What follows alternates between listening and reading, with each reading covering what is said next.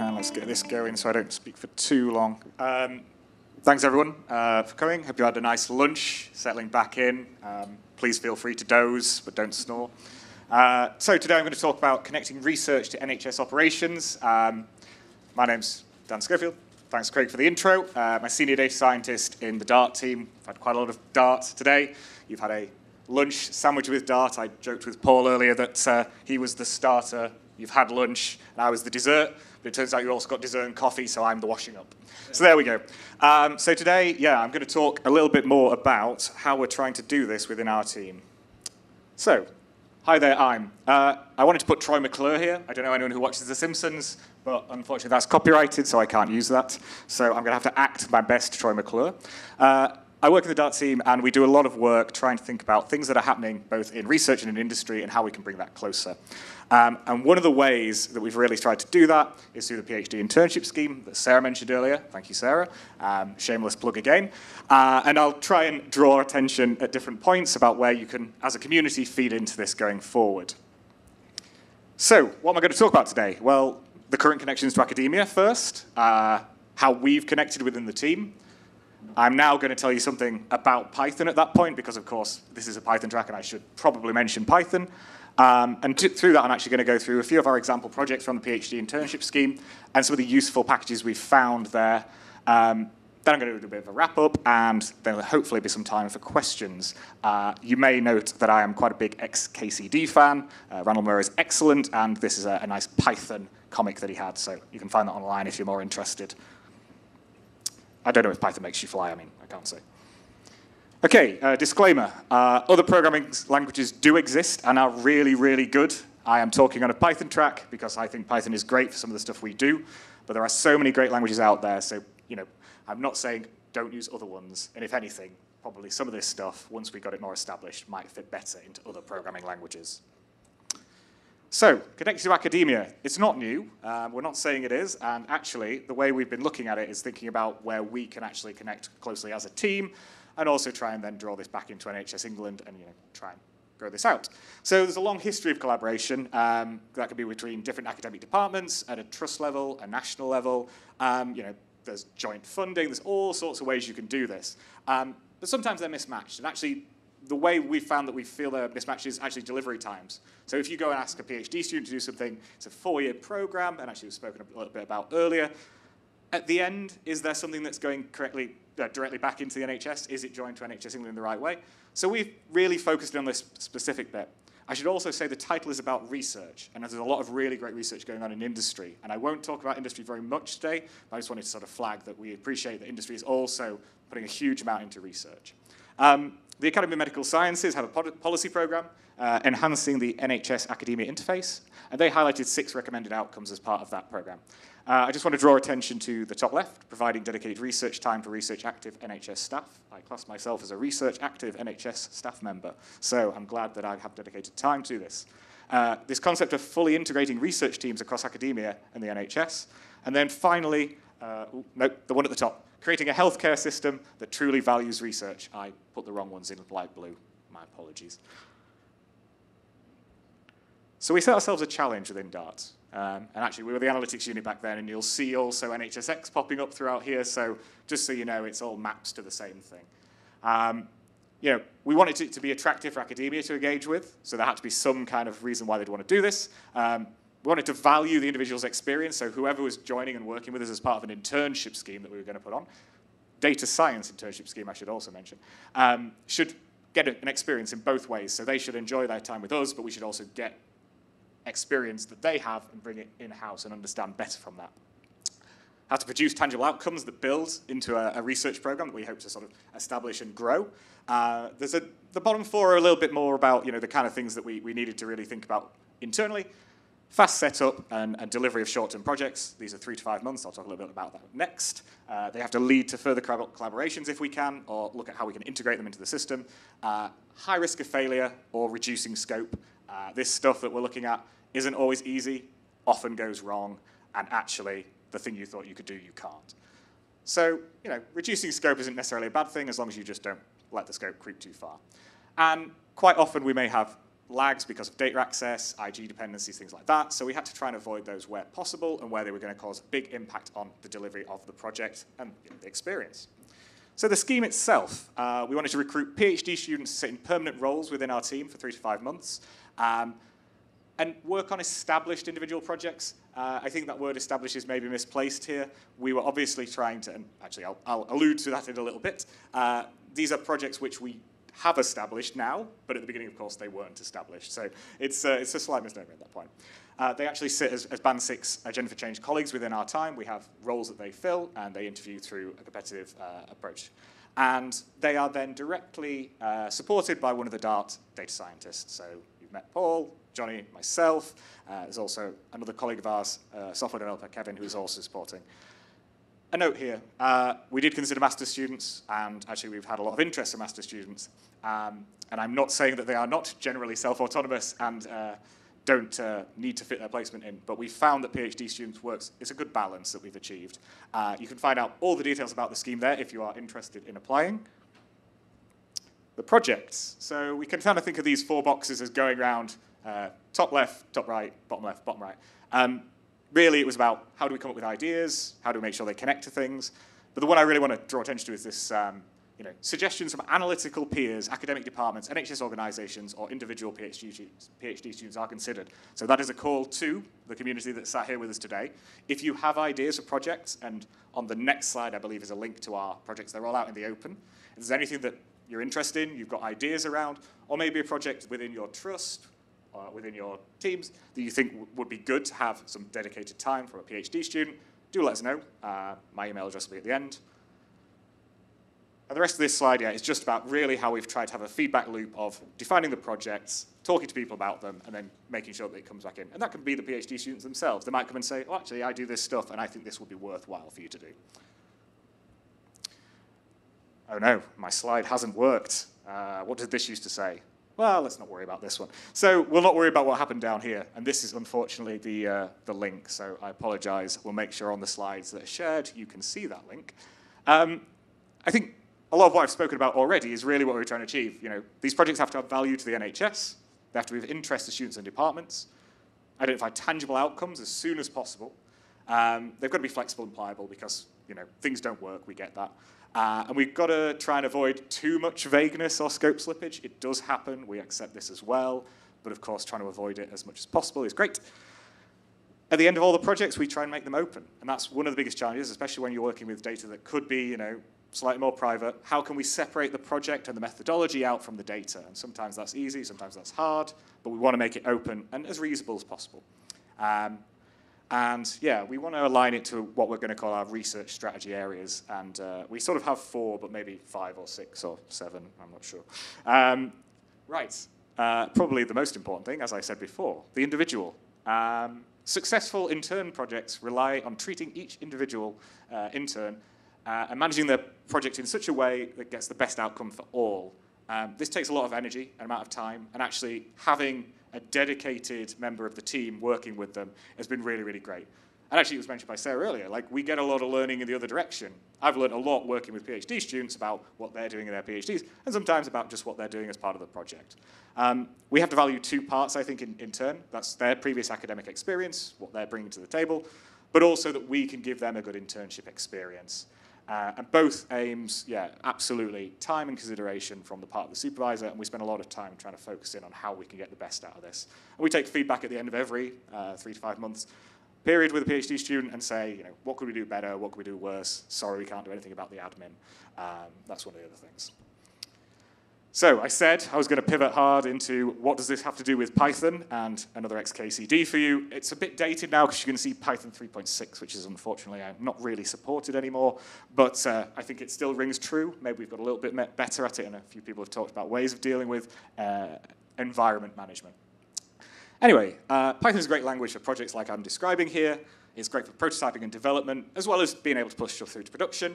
There are a huge number of useful libraries, actually like new ones that I kind of keep up with. Every day I'm like, well, this would be good, and then I'm like, 96 tabs on my phone, 97 tabs on my phone. So it's getting pretty, you know, it's pretty great. But of course, that's because people are writing stuff in the open from both research and industry that others can build on top of. And that's really great. also leads to really great community support as well. Uh, you know, you're not ringing someone up and saying, oh, I need the help. You can just have a discussion. People can say, this is good, this is bad. Okay, maybe some people get a bit upset about it, but not too much too often. Um, and the, the pain refers to the diagram. Like, you know, I think we all know if we've played with Python that this is painful sometimes. So I'm going to talk through three projects now. Um, I kind of have a, a project template slide, which is about the project in question, and then I have a slide about one of the packages we used in the project. So, and, and kind of why. So here, this first project uh, is with Jamie Burke, a PhD student from the University of Edinburgh, and it's about transforming healthcare data with graph-based techniques using SAIL Databank. SAIL Databank is a TRE. Uh, you've heard a bit about those over the course of the days, and we're looking at cohort data within their TREs and exploring the use of directed hypergraphs, an extension of simple graphs. Uh, actually, go, how many people have heard of hypergraphs here? Okay, that's, that's good to know, because I was a bit like, do people know about these? Okay, I'll do a really quick uh, intro to hypergraphs. So here we have nodes and edges in a, a normal graph, E1, E2, E3 being the edges, A, B, C being the nodes. Uh, a hypergraph allows you to basically make an edge that joins more than two nodes. So here we can see, and this is actually a, a directed hypergraph, A and B are joined to C. That's in the directed case. In the, a normal hypergraph, you would just be ABC has an edge around it. And what that actually allows us to do when we want to look at multi, multimorbidities, to go beyond comorbidities, is actually model them in the side of this graph. It's really great because you can take that degree up to three, four, five nodes, all connected with a single edge. Uh, okay, so you can probably see, got double, double back there, um, probably see where I'm going with this. It gets complex in terms of computations. Every time you increase from, say, a simple graph to a hypergraph to a directed hypergraph, and your number of nodes is, so here I've chosen 13, which is happens to be the number of nodes we use in the Charlson, which is a, a way of collecting diseases, uh, disease codes together into uh, disease groups. But the issue is, in a simple graph, 78 possible edges. In a hypergraph, 8,000 possible edges, well, greater than 8,000. In a directed hypergraph, greater than 1.5 million possible hyperarcs. So hyperarcs is basically when you put arrows on hyper edges.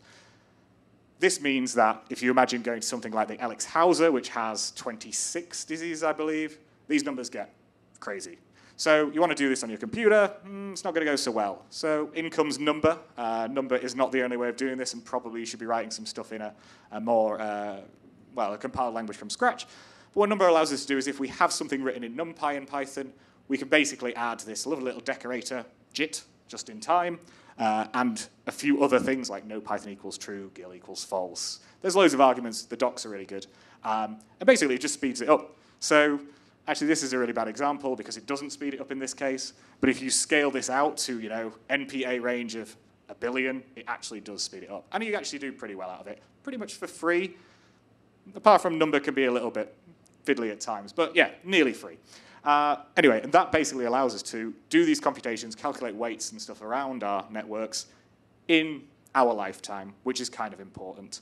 Uh, I mean, Jamie, as an example, has got some stuff that was taking, you know, we're talking days down to like minutes with this. So it's possible with the right kind of combinations of this stuff. A little nod to JAX as well, uh, it's Google package. Um, and this is kind of a direction that they're moving with a lot of their uh, large linear algebra stuff for uh, neural networks. Similar kind of thing going on, I think, under the hood, but uh, don't hold me to that. Just so you know as well, uh, the LLVM compiler library is actually an open source, uh, community supported um, program. Okay, project two. Uh, developing large-scale language models with NHS incident data. So Chris Mainey, who spoke in the R track and was actually uh, chairing yesterday one of the sessions, um, spoke to us and the NL NLRS, the National Learning and Reporting System data, collects NHS incidence data from Datix, which was also mentioned yesterday, uh, and that is across a, on a national level. There are lots of incidents, and some are severe and some are not. And clinicians have to at the centre have to try and review these and make sure that there aren't any emerging problems. So there are lots of really good examples on the website of where they have used this data to identify something in the system and they've been able to do an intervention off the back of that. But there is so much data coming through, they need a way of sorting it. So we turned to uh, a project with Niall, who's Niall Taylor's just finished, uh, a PhD student at the University of Oxford, um, looking at large-scale language models that have come out, you know, last five years. I could probably give a whole talk on that, but let's not. Um, and looking at how we can basically use these models to learn useful uh, representation spaces or embedding spaces for these documents to help clinicians find the documents that are similar in some way. And similar is a you know, loose term here. But basically, it was take, taking a model, fine tuning it in an unsupervised way, and then looking at ways of evaluating these new models and new representations, looking for failure modes. Uh, and actually, to do that, we used a package called Checklist, which I would really recommend, and I'm going to talk about on the next slide. Just a couple of things to note at. Hugging Face Transformers, amazing package. If you want to do anything in the NLP space these days, you'll probably be using it. And DeCLUTR is a really cool thing that came with Allen AI uh, last year, and it's using contrastive learning to learn better embedding spaces. And that's basically saying, should these things be close together or not, and then using that as a learning mechanism to put them close together or not. Turns out it's really good. Okay, next slide. So, checklist. What is the point of checklist? Well, checklist is basically taking software testing to natural language processing models, or language models, I should really say. Um, we basically had a new domain that we wanted to put this on. A lot of the open language models, they, they don't work on healthcare text. Some of them work on biomedical stuff, but they definitely don't work on NHS text without at least uh, pre-training them a little further or maybe doing some kind of fine-tuning. Um, we actually put some downstream pseudo tasks. Uh, ask me about that later if you want to know a bit more. Uh, but basically, this allowed us to have a supervised task. And then we empl employed checklists to check whether our NLP model was behaving itself if we made a change. Uh, checklist comes with three kind of ideas around testing. Minimum functionality, does it do the thing I expect? Invariance test, if I change something in my sentence that shouldn't change my prediction, does my prediction change? So for instance, changing gender should not change the severity of an incident. And finally, directional expectation test, harder to do in a patient safety thing, but you can imagine this in a sentiment analysis model. If I add a negative sentiment on the end of a positive sentiment, it shouldn't get more positive, it should get more negative. Thus, that is checking that the directionality of your expectation has changed in the right way. And finally, I added this uh, similarity, similarity of embeddings test. This is one we're working on, but it's not done yet. Basically, this allowed us to develop a suite of tools to test the models that we were building on patient safety-like things, Okay. Patient safety-like things through a nice interface and actually means you can scale it pretty well. I'm going to speed up slightly through this one because I realize I'm running over a little. Project three. Uh, this was uh, Kai Zhang and Sarah Hickman. Kai's a PhD student at Imperial, and Sarah was just finishing her PhD at Cambridge.